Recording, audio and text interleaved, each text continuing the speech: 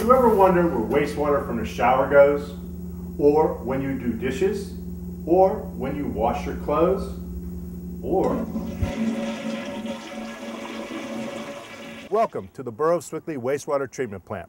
In 1957, the Borough of Sewickley built this wastewater treatment plant to provide sewage services in order that sewage could be treated and not sent directly to the Ohio River.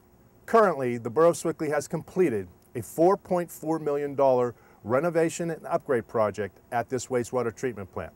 The purpose of this infomercial is to make Sewickley residents and the other municipalities that utilize this service aware of the procedures and the process for sewage. Wastewater and sewage are collected throughout the borough of Sewickley. They are sent to pump stations. The borough operates three, like this one on Chestnut Street. Then the pump stations pump the wastewater and sewage to the wastewater treatment plant. It comes in and the first process is the screen removal. The screen takes out products such as branches, twigs, tennis balls, bricks that may be in our system. This is an automated process that replaces the worker who used to have to go down and physically hand remove all of the debris that would come in with the sewage. It is then screened out, it is sent over to a conveyor belt system and taken to the landfill. When the wastewater sewage leaves the screening area, it comes through this pipe into the grit chamber. The grit chamber is an additional process that takes out non-organic materials, takes out road grit. It is then processed and dropped into these bags, making it clean and green. These bags are then taken to a landfill for proper disposal. This process replaces the worker having to physically shovel the items during the day.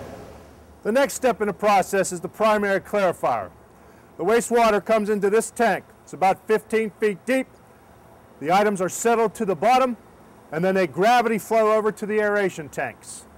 Here it is treated with air that helps the bacteria clean the wastewater. Then the water flows slowly over into the final clarifier, which is one more process, slowed down, that allows product to fall to the bottom of the pits. Then this water is sent over to the chlorine contact. In the chlorine contact, it is treated. It therefore meets all DEP and EPA standards and can be pumped to the river.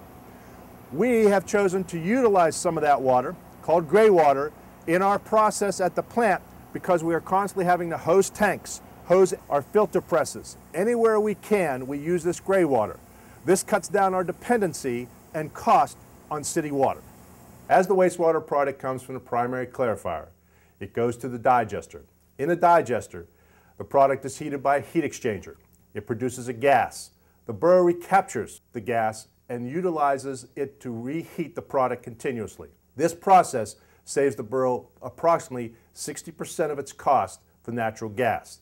The biosolids from the digester are pumped over to this belt filter press. The belt filter press utilizes the gray water that is produced in-house and it takes the product between two belt presses to make a cake product. The belt filter press takes the biosolids and takes all of the water out of them.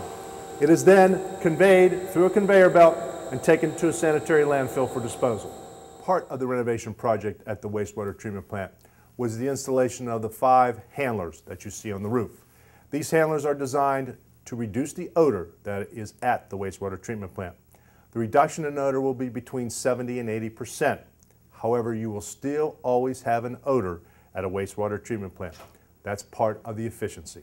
On behalf of Dennis, Chad, Rich, and Joe, we invite you to call the Borough of Sewickley Wastewater Treatment Plant in order that you can have a tour of the facility and see the services that we render.